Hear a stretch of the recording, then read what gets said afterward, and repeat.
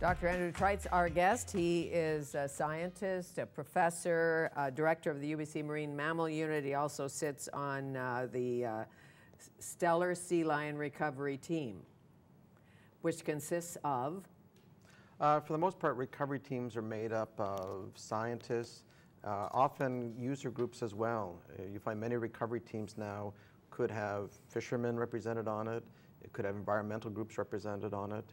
And so increasingly now, when species get listed, we have sort of the stakeholders, those that would be affected by it, and mm -hmm. so they want to come to a consensus. So more and more, it's recovery teams are being put together with stakeholders to come up with a plan that'll see the species recover and get off the list. Okay, so uh, why are they on the list? Do we know? Well, you know, Steller sea lions range from California up the coast to Alaska, across the Aleutians, and down to northern Japan.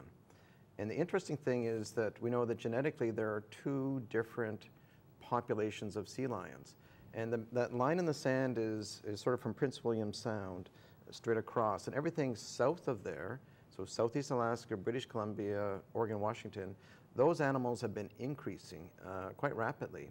But when you go elsewhere across Alaska to Russia, they've been declining. And so, for example, in, in um, Alaska, they had about 350,000 Steller sea lions were breeding there um, back in the 60s and into the 70s.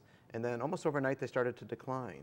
They've declined by over 90%. And so today, the population number is less than, than 35,000. Mm. And it's a little bit like, you know, you go to BC Place, and you've always mm. gone there, and it's always been sold out. And every seat is full. And you go back one day, and all of a sudden, 90% of the seats are empty. And you look around and say, where is everybody? It means the team is not playing that well. but uh, it's startling, the dramatic decline. Uh, what, what do you think is happening? Well, I know there's several, there's some wild notions, there's some science. What do you I think tell you, when I first started off, you know, I thought, well, this is an open and shut case. Mm. Um, we know that at the same time they're declining, there was a big buildup of fisheries. Today, the second biggest fishery in the world is catching the number one prey item of Steller sea lions, which is walleye pollock. Okay, so and overfishing, perhaps. Perhaps, and so certainly that's what I thought when I first started into this. Uh, pollock has turned into something you've probably eaten without realizing you're also eating sea lion food, which is um, surimi, the artificial crab. Mm -hmm. And mm-hmm. so maybe remember that came on the market. Yes. So that, that is about the same time as sea lions declined. It turns out though, when you start looking at where was the fish caught, how much, and everything else, nothing adds up. We've not been able to find any connection outside of a coincidence in time. So they were in the room together, mm. but we can't find anything other than circumstance. And they're not like dragging and, and catching them in the nets or anything like this that. This is, is, strictly food supply. And this fishery is one of the cleanest in the world. It's very conservatively managed. They take a small proportion of the total stock. The nets are not dragged on the bottom. Uh, it's in the midwater. And so it, it gets a green uh, stamp from some of the groups that are out assessing, you know, how healthy is this fishery, right. and is this a fish we should be eating. Is the pollock polluted? Uh, is there no. something internal going on? The fish are polluted. The listen well, to this theory. I'll, I'll tell you where, where we ended up with this is that we met this fellow whose daughter, he was a fisherman himself, and his daughter was trying to save harbor seal pups.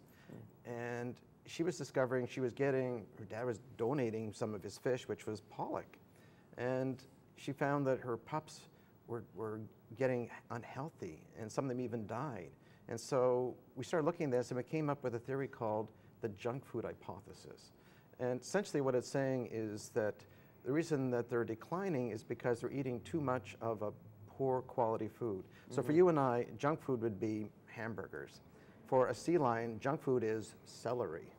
Mm -hmm. um, and the problem seems to be it's sort of the equivalent to putting you into a field of celery and saying, look at all this food that's here, and you probably know that you're not going to survive eating celery. Right. There's not enough energy in Mostly it. Mostly water. So we started a, research program at the Vancouver Aquarium, and we started trying to test some of these theories. The energy foods. The energy one, the junk food hypothesis. And what we found is that a young animal, so let's say one and two-year-olds, that they cannot get enough energy out of pollock. Mm. Uh, their stomachs are full, and they're still hungry and they can't grow normally. So it appears that what's happening in the wild is that mothers in this ocean that is full of now white fish are keeping their pups for an extra one or two years.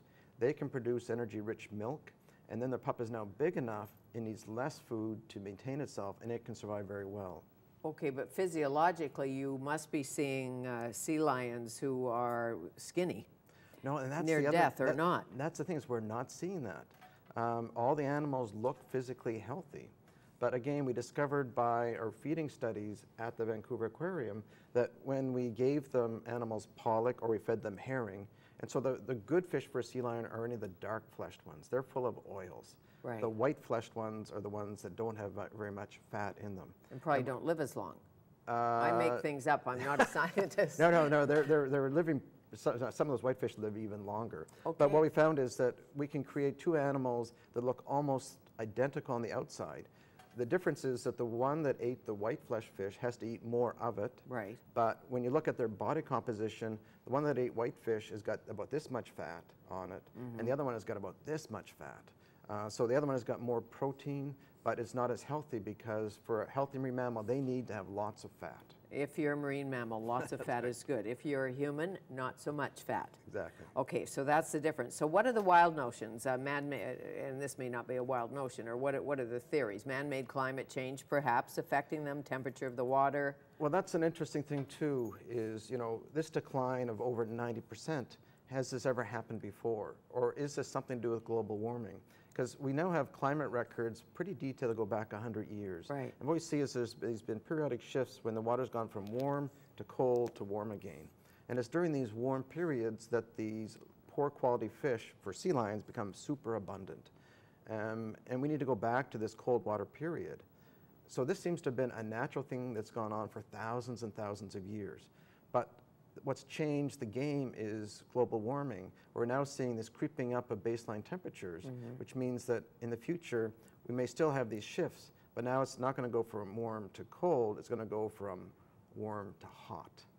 Um, and so what we're seeing now may be the way it's going to be for the foreseeable future. Now, one of the other things in this is to realize that sea lions further south, so here in British Columbia, they are booming. Uh, our population now is over 20,000 animals, and, but they're not eating these white fish. Uh, they used to when our numbers were low. Today, what they're eating are things like herring, sardines, sand lance. Mm. All good for you. All good food. And good for a marine mammal. That's right. obviously. How do you tag a sea? How do you how do you find a sea lion, tag it, chase it, figure it out? Um, it depends on the animals. When they're young, you can, you can approach and pick them up.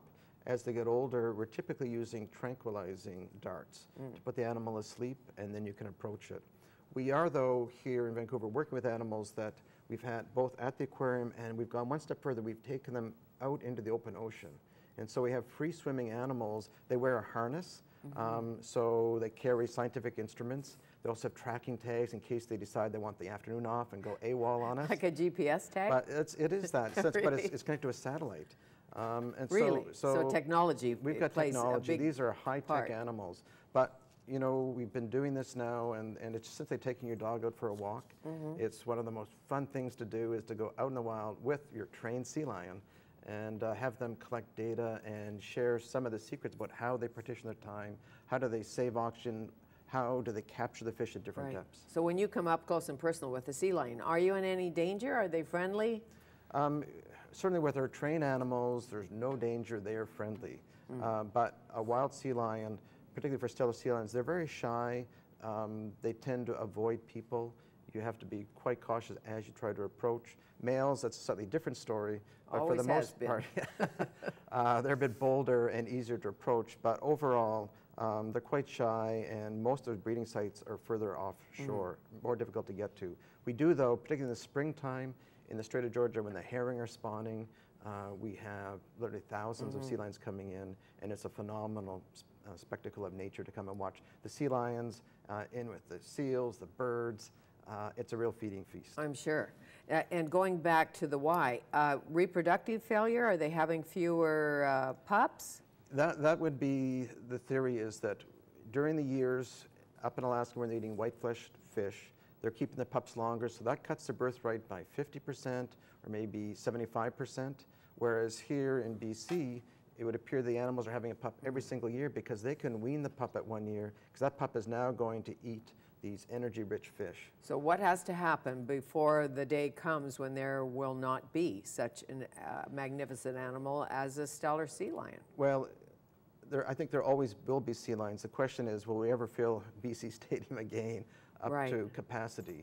Um, there will always be sea lions. The question is, will they ever get back to that number? Mm. And right now, in theory, they will get back, but the global warming issue complicates it More than anything? more than anything right now, I would say. So it's not pesticides and uh, No. damaged fish or low No. populations? There, there is one other little warming. twist to the story, which is killer whales.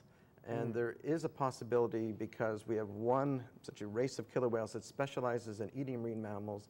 And now that the Steller sea lions are so low in Alaska, um, it appears that the killer whales could be cropping off a greater proportion, and therefore they could be preventing recovery. Okay, and you're on the killer whale recovery team too, so it could be a conflict of interest. Nice to see you again. Nice to see you Thank too. you so much. I'll come and see uh, that magnificent whale, I promise. Great. Okay. Uh, Professor Andrew Trites from UBC.